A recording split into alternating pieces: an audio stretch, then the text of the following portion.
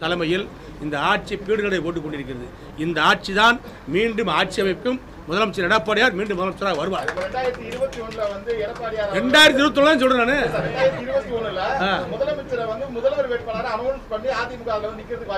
யாரு? இப்ப இருக்கிற முதலமைச்சரை வந்து அதை முன்னிறுத்தி அது அதை எட- நான் தான் இப்போ ஓப்பன் சொல்லிட்டேன் நான் இப்போ நான்? நான் தலைவரே நான் வந்து வெட்டு ஒன்று துண்டு ரெண்டு.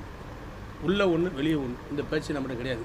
முதலமைச்சர் எடப்பாடியார் தான் இன்றைக்கி வந்து இந்த ஆட்சியினுடைய தலைவர். இந்த அரசாங்கத்துடைய தலைவர். எட்டரை கோடி தமிழ் மக்களை நல்வழிப்படுத்தக்கூடிய ஒரு முதலமைச்சராக இருக்கின்ற காரணத்தினால் அவரை மையப்படுத்தி தான் எங்களுடைய அரசியல் வியூகங்கள் நடக்கும். எடப்பாடி பழனிசாமியை மையமாக கொண்டு தான் வர ரெண்டாயிரத்தி இருபத்தி ஒன்று சட்டமன்ற தேர்தலை அதிமுக சந்திக்கும்னு அமைச்சர் ராஜேந்திர பாலாஜி பேசிய பேச்சு அதிமுகவில் திரும்பவும் வெடிப்புகளை ஏற்படுத்தியிருக்கு. ஜூலை பதினான்காம் தேதி தமிழக அமைச்சரவை கூட்டம் நடந்தது. அமைச்சரவை முடிவுகளுக்கு பிறகு அமைச்சர்களோட கலந்துரையாடல் நடத்தினாரு முதல்வர் எடப்பாடி. அப்போ தேவேந்திரகுல வேளாளர் என்கிற பொதுப்பெயரை கேட்கிற சமூகத்தினருக்கு ஆதரவா அமைச்சர்கள் திண்டுக்கல் சீனிவாசன் ஓ எஸ் மணியன் துணை முதல்வர் ஓ பன்னீர்செல்வம் போன்றோர் பேசினாங்க. அப்போ அமைச்சர் ராஜேந்திர பாலாஜி குறுக்கிட்டு அந்த பெயரை மாத்தினா சிக்கலாயிடும்னு. ரொம்ப ஜாதிக்காரங்க இதை எதிர்க்கிறாங்கன்னு சொல்ல ஓபிஎஸ் குறுக்கிட்டு தம்பி அமைதியாயிருங்க. உங்களால ஏகப்பட்ட பிரச்சனைங்க வந்துட்டு இருக்குன்னு சொல்லி அவரை அமர வைத்தாரு. ஓபிஎஸ் திரும்பவும் சில சொற்களையும் ராஜேந்திர பாலாஜி மீது வீசியிருக்கிறாரு. இது பற்றி ஜூலை பதினைந்தாம் தேதி மின்னம்பலத்தில் டிஜிட்டல் திண்ணையில் தெற்கு மேற்கு அமைச்சரவையில் எதிரொலித்த வேளாளர் விவகாரங்கிற தலைப்புல செய்தி எழுதியிருந்தோம். இந்த நிலையில ஒரு நாள் கழித்து ஜூலை பதினாறாம் தேதி விருதுநகர் மாவட்டத்தில் பத்திரிகையாளர்களை சந்தித்த அமைச்சர் ராஜேந்திர பாலாஜி எடப்பாடியார் தலைமையில தமிழகத்துல ஆட்சி பீடு நடை கொண்டிருக்கு. இந்த ஆட்சி தான் திரும்பவும் தமிழகத்துல ஆட்சி அமைக்கும். எடப்பாடியாரே மீண்டும் முதலமைச்சரா வருவார்னு சொல்ல குறுக்கிட்ட ஒரு செய்தியாளர் ரெண்டாயிரத்தி இருபத்தி ஒன்னு சட்டமன்ற தேர்தலில் என்று கேட்கும் போதே குறுக்கிட்ட ராஜேந்திர பாலாஜி ரெண்டாயிரத்தி இருபத்தி ஒன்னுல தான் சொல்றேன் என்றார். மீண்டும் விடாத செய்தியாளர் ரெண்டாயிரத்தி இருபத்தி ஒன்னில் முதல்வர் எடப்பாடியை முதல்வர் வேட்பாளராக முன்னிறுத்தி அதிமுக தேர்தலை சந்திக்குமா? என்று கேட்க அதுக்கு பதிலளித்த ராஜேந்திர பாலாஜி தலைவரே நான் வெட்டு ஒண்ணு துண்டு ரெண்டுன்னு பேசுகிற ஆளு. உள்ள ஒண்ணும் வெளியே ஒண்ணும் நம்ம கிட்ட கிடையாது. எடப்பாடியார் தான் இந்த ஆட்சியோட தலைவர். எட்டரை கோடி தமிழ் மக்களை நல்வழிப்படுத்துற முதல்வர் எடப்பாடி. அவரை மையப்படுத்தி தான் எங்களோட அரசியல் வியூகம் இருக்கும்னு வெளிப்படையா போட்டு உடைச்சாரு.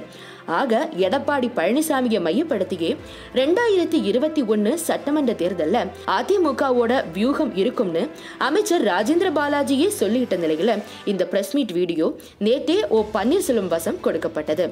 அவரும் அதை பார்த்திருக்காரு. அதே நேரம் அதிமுக ஐடிவிங் வாட்ஸ்அப் குரூப்கள்ல ஓ பன்னீர் தரப்பினர் இதை பற்றி கடுமையான விமர்சனங்களை முன்வைத்து வராங்க. மாண்புமிகு அமைச்சர் ராஜேந்திர பாலாஜி அவர்களே கட்சியில பிரிவினைய உண்டு பண்ண வேண்டாம். முதல்வர் வேட்பாளர் அறிவிக்கிறதுக்கு நீங்க கட்சியோடைய ஒருங்கிணைப்பாளர் கிடையாது. உங்க தொகுதிக்கு அதிக நிதி தேவைனாலோ அல்லது மாவட்டத்துல பொறுப்பாளர் பதவியில இருக்கிற நீங்க மாவட்ட செயலாளர் பதவி வேணும்னு விரும்பினாலோ தனிப்பட்ட முறையில கேட்டு வாங்கிக்கணும். யாராவது தூண்டுதல் பேர்ல பேசுறீங்களா? கட்சியுடைய முதல்வர் வேட்பாளரை ஒருங்கிணைப்பாளரும் தொண்டர்களும் தான் முடிவு செய்யணும். ஒருங்கிணைப்பாளர் யாருன்னு உங்களுக்கே தெரியும். எனக்கு பின்னாலும் ஆயிரம் ஆண்டுகள் கழகம் இருக்கும்னு அம்மா சொன்ன ஒரு சொல்லுக்காக அனைத்து தியாகங்களையும் செய்து கொண்டு கழகத்தோட காவலரா ஒன்றரை கோடி தொண்டர்களோட ஒருங்கிணைப்பாளரா இருக்கிற ஓ பன்னீர்செல்வம் தான் முடிவு செய்யணும்.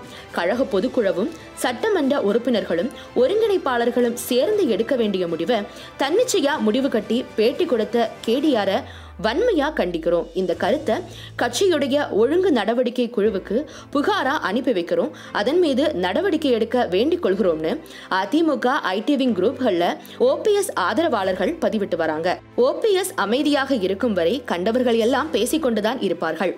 சிங்கத்தின் கர்ஜனை வெளிவந்தால்தான் இதற்கு ஒரு தீர்வு. அம்மா அவர்கள் யாரை முதல்வராக அமர்த்தி அழகு பார்த்தார்களோ அவர்கள்தான் எங்களுடைய தலைவர்னு பதிவிட்டு பரப்பி வராங்க ஓபிஎஸ் ஆதரவாளர்கள்.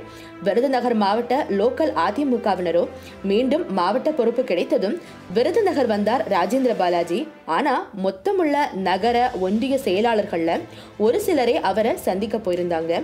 பெரும்பாலான ஒன்றிய நகர செயலாளர்கள் அவரை போய் பார்த்து வாழ்த்து கூட தெரிவிக்கல. இதுதான் யதார்த்தம்னு சொல்றாங்க.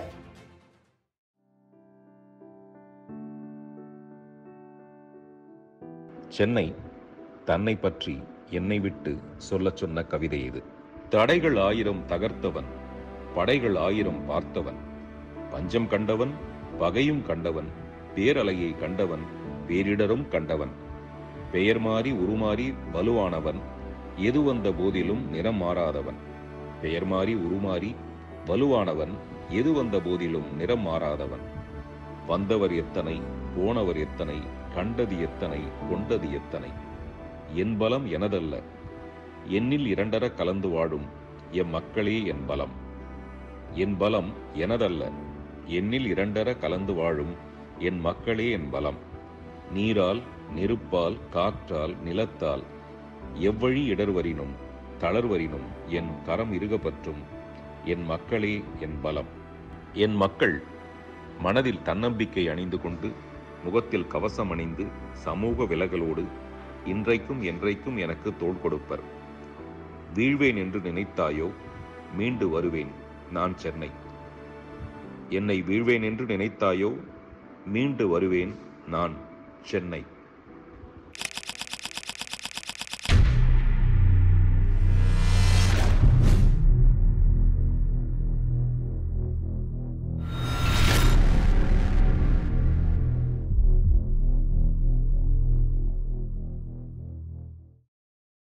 லைக் பண்ணுங்க ஷேர் பண்ணுங்க கீழே கமெண்ட் பண்ணுங்க. மின்னம்பலம் யூடியூப் சேனலை சப்ஸ்கிரைப் பண்ணுங்க.